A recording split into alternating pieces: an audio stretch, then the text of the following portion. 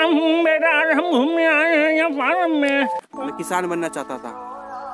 अपनी पसंद की सारी फ़सलें उगाना चाहता था। ये सफ़र शुरू होता है मेड के चार चिरी लोंडो से।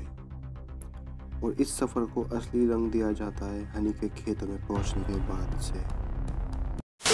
पहुँच चुके हैं हनी भाई के खेत पे और पीछे खड़ी होगी हमारी फॉर्चुनर जैसा कि आपको दिखाई दे रहा होगा और इधर है ठाकुर साहब। मैं किसान बनना चाहता था। अपनी पसंद की सारी फ़सलें उगाना चाहता था।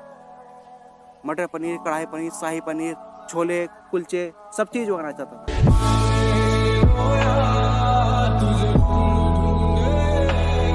आप देख रहे हैं हरे भरे गेहूँ के खेत।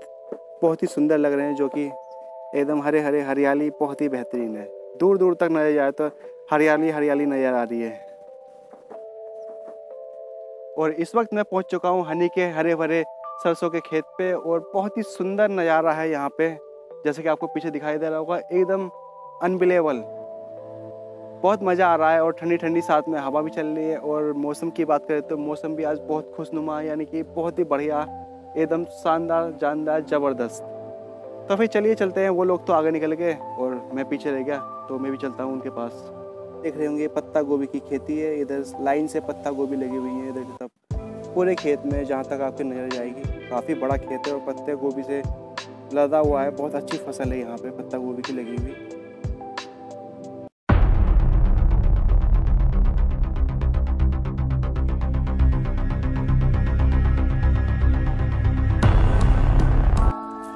साहब, हम बता रहे हैं, हम बनना चाहते थे किसान। मैं अपनी पसंद की सारी सब्ज़ी उगाना चाहता था। मूली, खीरा ककुम्बर लेकिन आज देखो, गरीबी में आटा गीला घास काटनी पड़ रही है?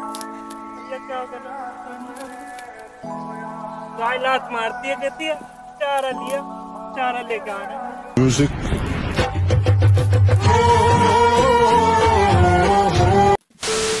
बेटा आज हम घूमने आए हैं यहाँ फार्म में। कोई नहीं जानता इस जगह को।